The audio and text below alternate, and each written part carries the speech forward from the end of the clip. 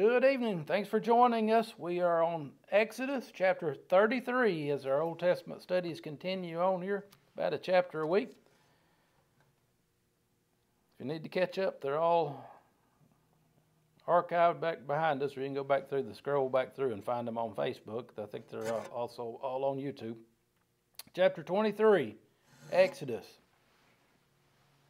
The Lord said to Moses, Time to move on. Depart and go up hence, thou and the people which you've brought up out of the land of Egypt, unto the land which I swear unto your ancestors, Abraham, Isaac, and Jacob, saying, Unto their descendants, unto thy seed will I give it. So now it's their descendants. All these years later, Moses and all these people are the about 400 years down the line from Abraham, Isaac, and Jacob. So, verse 1, God says, You're going to go now. We're going to move. You're going to go to someplace. And I will send my angel before thee, verse 2, and I'll drive out the Canaanites, the Amorites, the Hittites, the Perizzites, the Hivites, and the Jebusites. I'm going to send you, uh, verse 3 says, to a land flowing with milk and honey. But uh, we've got to drive the wicked out of the land first. You've got a job to do, and there's going to be no place found for them wicked people. And uh, it's just like the New Testament. At the end of at the end of this life, there'll be no place found for the wicked. Well, who's the wicked? That's just them murderers, right? No, is uh, God considers the wicked all the people who are not Christians, all the people who do not uh, trust in the Lord Jesus Christ to cleanse them from their sins. So I'm going to take you to a land flowing with milk and honey, for I will not go up in the midst of thee. For thou art a stiff necked people, you're a rebellious bunch, lest I consume thee in the way.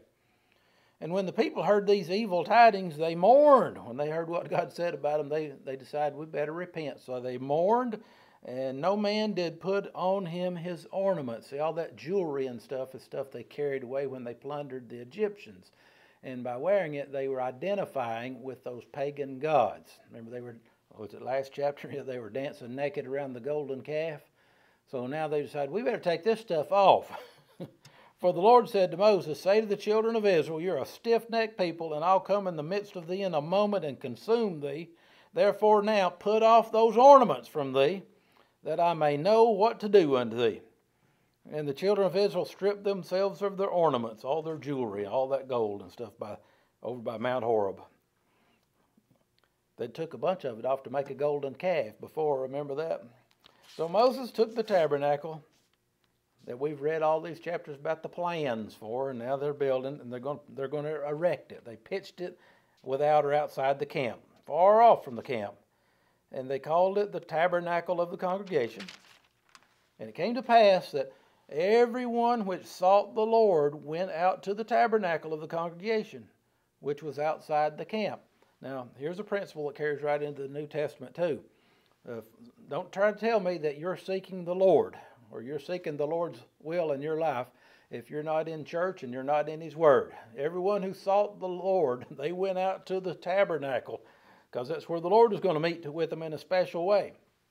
And it came to pass when Moses went out to the tabernacle that all the people rose up and stood every man at his tent door, and they looked after Moses till he was gone into the tabernacle. And it came to pass as Moses entered into the tabernacle the cloudy pillar descended, the Shekinah glory of God. God's in the cloud now. And he stood at the door of the tabernacle, and the Lord talked with Moses. And all the people, this is the visible presence of God. See that Shekinah glory? But uh, Moses was not able to see God himself. He could see the one, he could see the cloudy pillar, and God's in there speaking to him, just like God was in the burning bush. But Moses wants to see God himself. Like Philip in the New Testament, John 14 said to Jesus, Show us the Father and we'll be satisfied. Well, hold that thought. Verse 10. All the people saw the cloudy pillar stand at the tabernacle door, and all the people rose up and worshipped, every man his tent door. And the Lord spake unto Moses face to face, as a man speaks to his friend. And he turned again into the camp, but his servant Joshua, the son of Nun, a young man, departed not out of the tabernacle. So we see once again that wherever Moses goes, usually he's got Joshua with him. He's younger than him, and Moses is mentoring him. Joshua will take over after Moses one of these days. But it says Moses was talking to God face to face here, But remember, God's shrouded in that cloudy pillar because even in this very chapter, it's going to say nobody can see God and live. Or if you want to go to the New Testament, uh, Jesus told Philip when he said, Show us the Father. And Jesus said, uh, Philip, have I been so long with you and you've not known me? Uh, John chapter 1. Nobody has seen God at any time. All through the Old Testament, we see people see God. Well, they either saw him shrouded in a cloudy mist or they saw the pre incarnate Christ stepping back into time there, the God the Son. Because in that same John chapter 1, where it says nobody's ever seen God, he's invisible, but nobody's ever seen God. It said, but the only begotten Son, he's declared him or revealed him to us. The only God that we'll ever see when we get to heaven, I believe, is Jesus sitting on the throne because he shrouded his glory in human skin down here and he's in his glorified form up there. God's invisible, but we'll see Christ as God. So here's Moses. Talk about uh, Joshua's following him around. He's in the presence of God, speaking with him face to face. Verse 12. And Moses said to the Lord, they're carrying on conversation together, ain't the Lord and Moses? So Moses says to the Lord, See, thou sayest unto me to bring up this people, and thou hast not let me know whom thou wilt send with me. Yet thou hast said, I know thee by name, and thou hast also found grace in my sight. Moses is glad he found grace, but he said, You told me that, Lord. I hope you've found grace too, because that's the only chance we've got. Now, therefore, I pray thee, if I have found grace in thy sight, show me now thy way, that I may know thee, and that's a, a good clue that somebody's found grace. You want to know God more. Show me your way, Lord, that I want to know you, that I may find grace in your sight. And consider, Lord, that this nation is thy people. The Jewish nation was his people. Now, in the fullness of time, all Christians are God's people. And uh, you got to keep that in mind. This, uh, whatever problems the, you may think the church has, that's God's people. that's just they weren't perfect in the Old Testament. They aren't perfect in the New, are they? They're just forgiven. But that's, that's God's people, the church. And Moses said further to God, verse 14, My, You said, God, your presence will go with thee, and that I will give thee rest. So Moses said, if, we're your people, then we want your presence to go with us and give us rest or peace. And he said unto him, Moses says, If your presence go not with me, then we're not going. Carry us not up. I don't want to go, God, if you're not going with me. That's a good good motto still. Whatever plans you've got in life, it's just still God says, Now, God, if you're not going with me in this, I don't want to go. Even if it is supposedly a land flowing with milk and honey. For wherein shall it be known here that I and thy people have found grace in thy sight? We got to go into them Jebusites, Hittites, Hivites, and all these people. Said, uh, How will we even know that we found grace in your sight, and how will they know that we found that we're God's people if you don't go with us? And that's so today too, Christian. Wherever you go, it should be that people realize that you've brought the Lord with you wherever you go. So shall we be separated. We're not going to be like them world people out there. We're going to be different, which is holiness. I and thy people, from all the people that are upon the face of the earth. Verse 17. And the Lord said to Moses, I will do this thing also that thou hast spoken. Okay, I'll do it, Moses. For thou hast found grace in my sight, and I know thee by name. And Moses, in verse 18, talking back the Lord, says, I beseech thee, or I beg you, Lord, show me your glory. I want to see your glory. I want to see you in your fullness, Lord.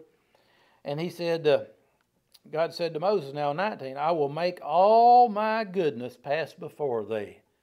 God is good all the time. All the time, God's good.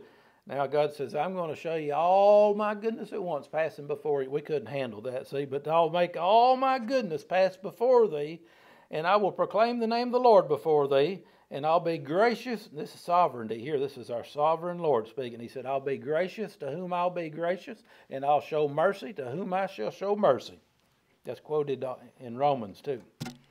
And he said, verse 20, God says to Moses, You can't see my face, for thou shalt no man see me and live.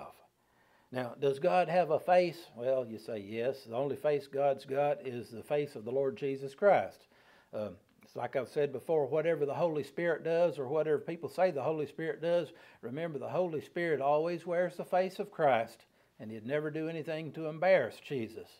Um, that's an anthropomorphism that's assigning human attributes to God, like the right, the strong right arm of God. Like, does the invisible God, who is a spirit, have an arm? Well, it's, it's, a, it's helping us understand it as human beings. Don't try to make him into a, somebody like us.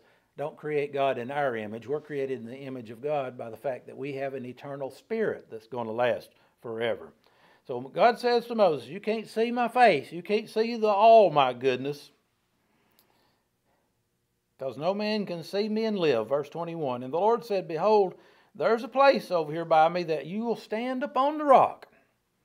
And it'll come to pass while my glory passes by that I'll put thee in the cleft of the rock, that, that busted spot of the, that crack in the rock there, Moses, I'm going to put you down in there, and I'm going to pass over but you can't see me in my fullness because no man could look upon me like that and live. It's like matter and antimatter. God's so holy. But I'm gonna I'm gonna shield you down in that crack in the rock, put my hand, anthropomorphism again, over you while I come by and let you see my hinder parts. Getting ahead a little bit here, but uh, I'll cover you with my hand while I pass by, and I will take away my hand, and you'll see my back parts. Now that literally ain't God saying I'm gonna let you see my butt when I go by. It's saying God's going to say, I'm going to let you see my afterglow as I pass by. It's kind of like the sun so bright you can't hardly stand to look at the sun. But don't we love to look at the afterglow, which we call the sunset? And that's kind of what God's going to show Moses here. I'm going to pass over, and when I'm by, you can see the afterglow of my glory. But nobody can look on me face to face and live. And uh, that keeps us in line with the New Testament. See, the Bible always agrees. No man hath seen God at any time, but the only begotten Son, Jesus, He's revealed Him to us. See you next time. Chapter 34 next week.